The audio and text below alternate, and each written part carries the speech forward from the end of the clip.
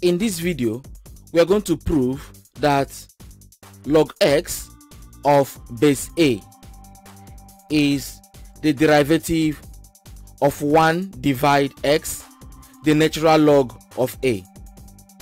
Before we solve this, let's recap on some basic laws of logarithm. These are some basic laws of logarithm.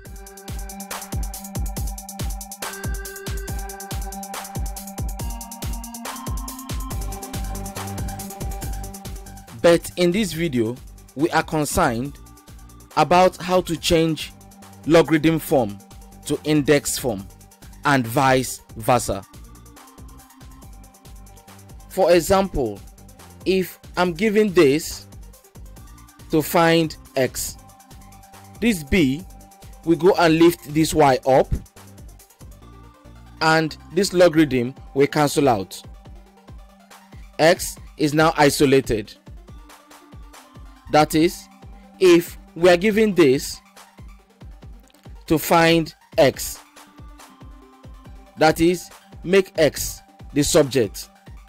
These two we go and move this 5 up. That is 2 raised to the power of 5. x is equal to 32. Also, remember that log x without specifying the base simply means log x of base 10. Subsequently, when you differentiate a constant raised to the power of x, you're going to have that constant raised to the power of x multiply by the natural log of that constant without the x. Respecting this basic rule that when you differentiate any constant to the power of x, it's going to give you that constant to the power of x multiply the natural log of that constant. To find the derivative of this, 3 to the power of x, I will differentiate this and my answer is 1. Next, I will copy back this question. Next, I'm going to multiply the natural log of this constant without the x. And this becomes our dy dx. However, if I will differentiate 3 to the power of y, the derivative will be 3 to the power of y multiplied by the natural log of 3.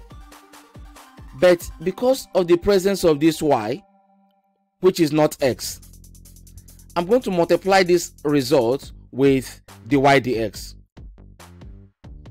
And you can see the difference between when x is at this power and when y is at the power. With these basics in mind, we can now prove that the derivative of this is this. To prove this, step number one, change the logarithm form to index form. That is, this a at the base will raise this y up according to the rule of index logarithm form. Next, we are going to differentiate both sides separately. Next, differentiate a constant to the power of y.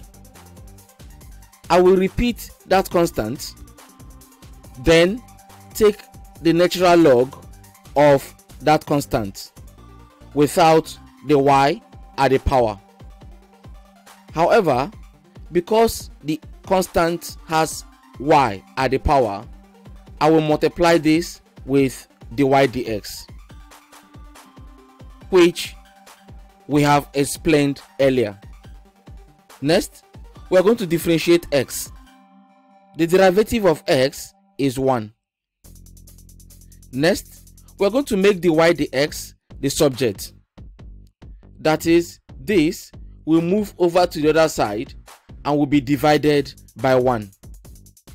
Next, the a to the power of y, which is here, is equal to x. And this is our dy dx.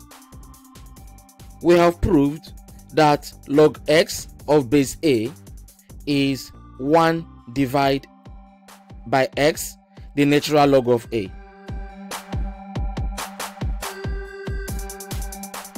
Let's consider this question. To solve this problem, step number 1.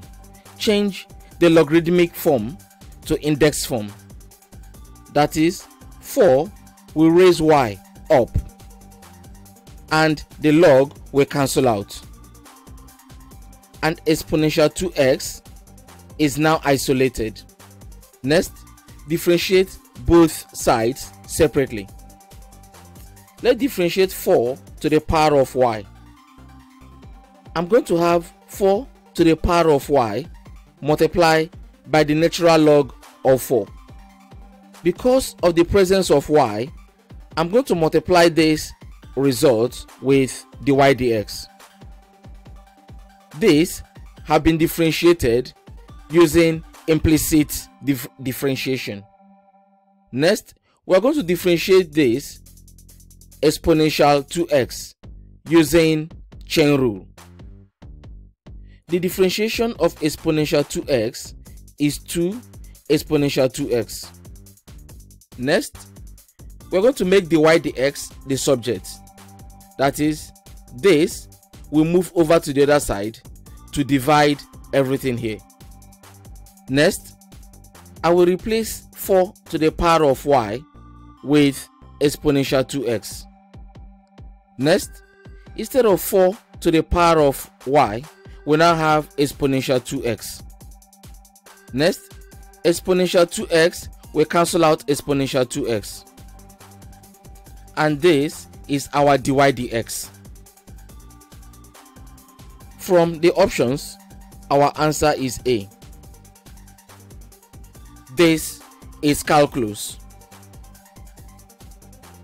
In the next video, we are going to solve basic logarithmic function questions.